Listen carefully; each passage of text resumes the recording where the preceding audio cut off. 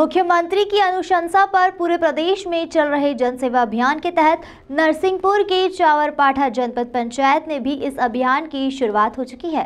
इसके अंतर्गत आने वाली पंचायतें हरई चिरचिरा ढडिया, सिहोरा में शिविर का आयोजन किया जा रहा है, जहाँ शिविर के माध्यम से लोगों को लाभ मिल रहा है। मुख्यमंत्री शिवराज सिंह चौहान की अनुशंसा पर जन सेवा अभियान के तहत नरसिंहपुर ज़िले में जिला कलेक्टर के मार्गदर्शन में लगाए जा रहे हैं। जन कल्याण शिविर में कलेक्टर रोहित सिंह ने बताया की मुख्यमंत्री के अनुशंसा पर ग्राम पंचायत स्तर पर मुख्यमंत्री जन सेवा अभियान शिविर लगाए जा रहे हैं, जिसमें मुख्य रूप से सर्वे कर हितग्राहियों को योजना योजना का लाभ दिलाया जा रहा है जिसे कि सभी पात्र हितग्राहियों को उन योजनाओं का लाभ मिल सके, जिसके वह पात्रधारी हैं। कलेक्टर रोहित सिंह ने बताया कि हम पंचायत स्तर पर जाकर उनके आवेदन एकत्रित करेंगे और इसमें पात्र हितग्राही को लाभ पहुँचा रहे हैं और ध्यान दिया जा रहा है की कोई भी हितग्राही छूट न जाए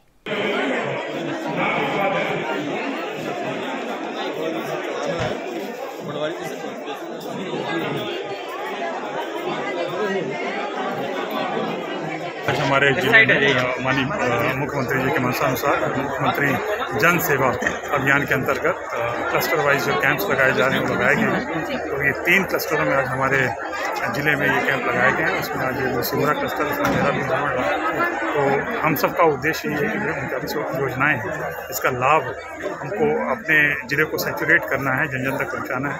पूरे घरों को सभी पात्र हितग्राहियों को उससे परिपूर्ण कर देना ही हम सब लोगों का लक्ष्य है। उसी क्रम में आज हम यहाँ आए हुए थे। तो हमें ये आवेदन दिए। उनको हम समय सीमा उसको दर्ज कराने का, उसको निराकरण कराने की कोशिश कर रहे हैं। हमारा संकल्प है कि माननीय मुख्यमंत्री जी के मंशानुसार सभी हितग्राहियों को आवश्यक रूप से योजनाओं का लाभ मिले और उसके बाद, इकतीस अक्टूबर के बाद इन योजनाओं में कोई भी हितग्राही बचे।